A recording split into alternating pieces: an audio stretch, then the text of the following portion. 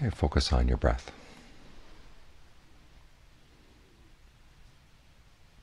Notice where you feel the breath in the body. You may feel the passage of air into the nose, or you may feel the, the movement of the body itself as it breathes in, as it breathes out.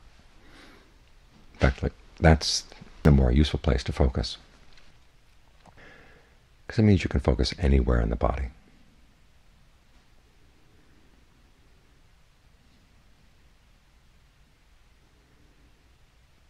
And notice how the breathing feels. Try to explore what feels best. Sometimes long breathing feels good, sometimes short, sometimes heavy, sometimes light, fast, slow, deep, shallow. You've got a whole hour to explore here.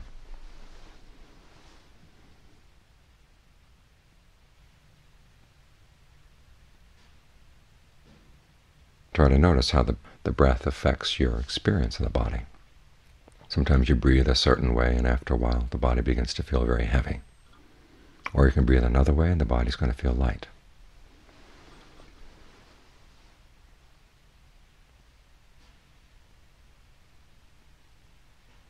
You can breathe in ways that rob you of energy and other ways that can make you feel stronger.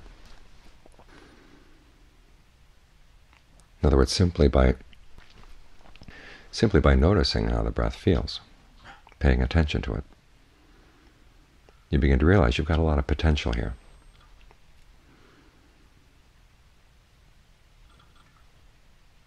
Sometimes if you have a headache, you can breathe in a certain way that makes the headache go away.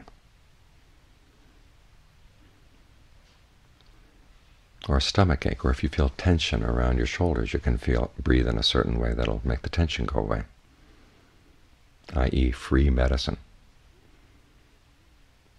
You don't have to go buy it from anyone. You don't have to see the doctor. Just use the breath, and you can deal with a lot of discomfort in the body.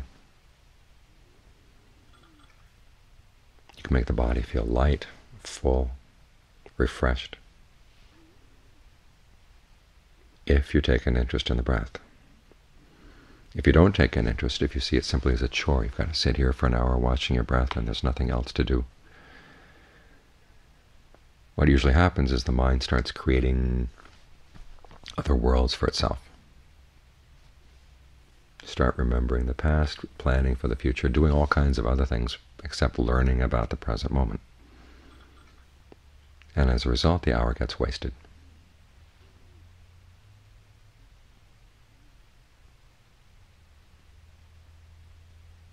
Because it's rare you get an hour like this where you can just be with the breath and learn about it, explore it, experiment with it.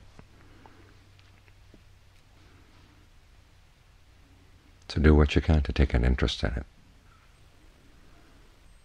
Because when you, you learn about the breath, it's like having a friend inside.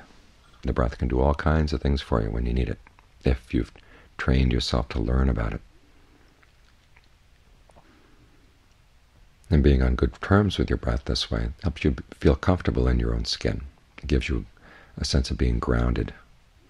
Not the sense of being grounded in the sense that you can't go anywhere, but grounded in the sense that you feel solid inside. You're not easily blown around by other people's opinions, other people's words. You feel solid within yourself, secure within yourself. This puts you in a position of strength.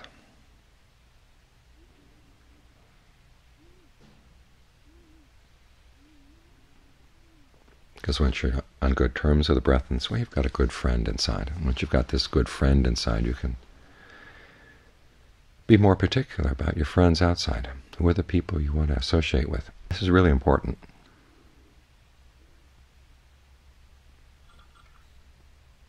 There's a passage in the old Buddhist texts where Ananda, one of the Buddha's major disciples, comes to him and says, you know, this is half of our holy life. Half of the life we lead as monks is having good friends, having admirable friends. And the Buddha said, no, don't say that. It's, it's the whole of the holy life. It's the entirety of the holy life. Because without the Buddha as a good friend, the monks would never have learned about the path to awakening. And if If you look at your own life, you see how much your life is shaped by the friends you choose. And given that friends are important, you'd think that we'd put more attention into choosing our friends, deciding which people are really worthwhile, as the chant said just now. Some people come on, they cajole and they flatter us and they say nice things to us, and all of a sudden we decide that they're a friend, and then they can cheat us. Take advantage of us. Or as the chant says, they may be good only in word, they make all kinds of promises, but when push comes to shove, they disappear. And the question is, why would you want to choose friends like that? And the reason is because you don't have a friend inside. You feel lonely, you feel insecure, and you want to have lots of friends. And because of this sense of emptiness or vacuum inside you, you're not very choosy. You're not very particular. You're not wise in choosing your friends. But if you had a greater sense of feeling comfortable in your own skin, feeling secure inside, then you could be a lot more particular. After all, you've got the breath as your friend. You can depend on the breath. When you get a sense of feeling secure in solitude, if you're not afraid of being alone, then you don't then you don't have to worry about how many friends you have. And you can choose friends who are actually good for you, people who point you to worthwhile things, people who really share in your sorrows and joys. People who are helpful and sympathetic. Because when you come right down to it, isn't that what you want out of friendship? Not quantity, you want quality.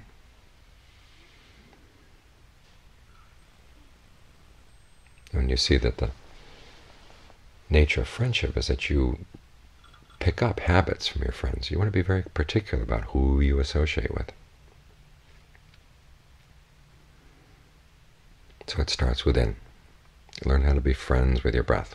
Learn how to associate on good terms with your breath.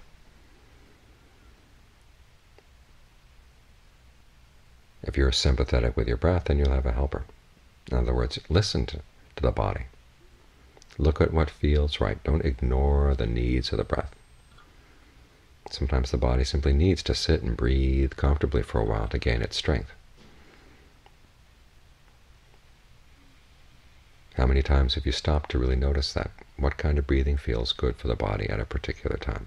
When you're tired, what kind of breathing is good? When you're angry, what way of breathing helps to diffuse the anger, that sense of frustration, that sense of pressure inside that makes us do and say things that we later regret.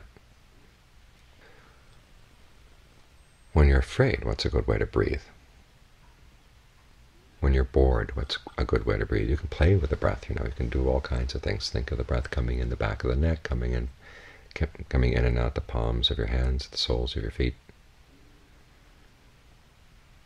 There's all kinds of ways you can play with the sensation of energy flow in the body. And it's not just entertainment, you learn from it. As with any skill, it often begins by just playing around, and then you begin to see that it really does have an important impact. It's like learning to play the guitar. You get your guitar, and the first time you pick it up and play with it, it doesn't sound all that good, but it's fun to try this, try that. And after a while, you can actually play songs. if you stick with it, you become a good guitar player. It's the same with the breath. Try different ways of breathing. Think of it as a game to begin with. What's long breathing like? Try that for five minutes. How about short breathing, deep breathing, shallow breathing?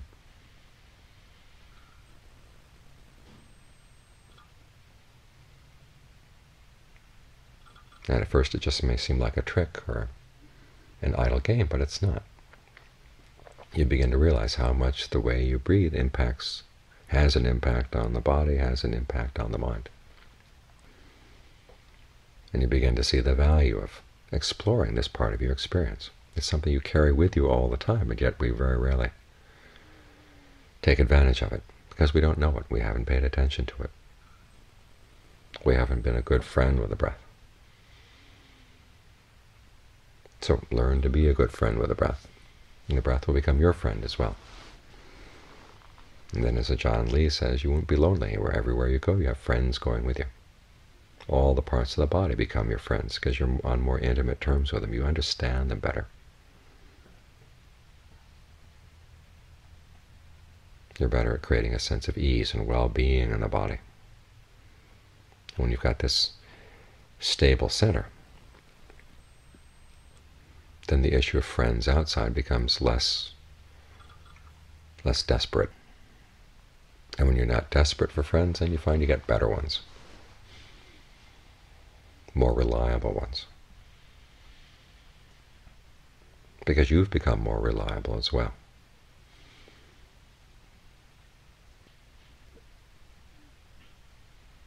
So it's important that you take some time to develop this skill. Do what you can become to become interested in the breath.